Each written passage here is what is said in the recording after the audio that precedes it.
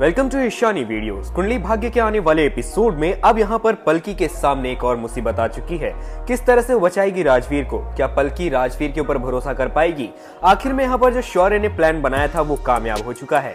शौर्य ने राजवीर को जेल की हवा एक बार फिर से खिलवा दी है और आने वाले एपिसोड में अब यहाँ पर शौर्य एक नया प्लान बनाकर प्रीता को और बाकी सभी लोगों को यहाँ पर दूर करने की कोशिश करेगा लूथरा हाउस से।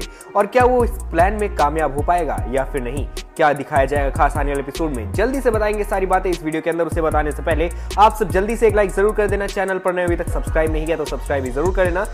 क्योंकि आप सबको हम ऐसी ही रियल और इंटरेस्टिंग अपडेट प्रोवाइड कराते रहते हैं। आने वाला एपिसोड काफ़ी ज़्यादा इंटरेस्टिंग होगा। सबसे पहले आने वाले एपिसोड में आप सबको देखने को मिलेगा कि एक तरफ़ राजवीर यहाँ पर काफ़ी ज़्यादा खुश है अपने घर के अंदर, लेकिन तभी यहाँ पर दस्तक होती है दरवाजे पर शौर्य की। शौर्य आया है और शौर्य राजवीर के ऊपर इल्ज़ाम लगा रहा है कि आखिर में जो भी लॉस हुआ है और जितना भी यहाँ पर लॉस हुआ है, वो भी लूथरा हाउस में और लूथरा इंडस्ट्रीज़ को पूरी तरह से वो राजवीर की वजह से हुआ है। और उसके ऊपर जो इल्ज़ाम लगाया गया था, वो पूरी तरह से यहाँ पर सच साबित तब हो जाता है जब यहाँ पर राजवीर के घर पर मिलता है पैसों से भरा हुआ बैग। और जितने की डील हुई थी, उतने पैसे उसके बैग में यहाँ पर मिलते हैं, उसके घर पर, जिसके बाद में पुलिस वालों को पूरी तरह से विश्वास हो जाता है कि आखिर में राजवीर ने ऐसा ही किया है, और वहीं दूसरी तरफ़ राजवीर को गिरफ़्तार कर लिया जाता है। लेकिन कहानी में भी ट्विस्ट है।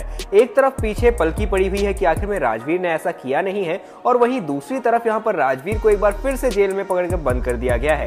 अब आखिर में करण को जब ये पता चलेगा कि शौर्य ने ये कदम उठाया है तो क्या वो राजवीर का साथ देगा या फिर शौर्य का? अभी इस बात पर तो सवाल उठता है, लेकिन यहाँ पर वो कोशिश ज़रूर करेगा कि इस बार यहाँ पर उसका सारा प्लान कामयाब हो और प्रीता के साथ साथ यहाँ पर अब राजवीर भी पूरी तरह से लूथरा हाउस से दूर हो जाए। इसी वजह से वो प्रीता को लेकर भी गलतफहमी पैदा करने की कोशिश करेगा, लेकिन उसका ये प्लान फ्लॉप होगा पलकी और प्रीता की वजह से। तो कितने ज़्यादा एक्साइटेड है आने वाले एपिसोड देखने कमेंट करके ज़रूर बताना। मिलते हैं आपको नेक्स्ट वीडियो में। Thank you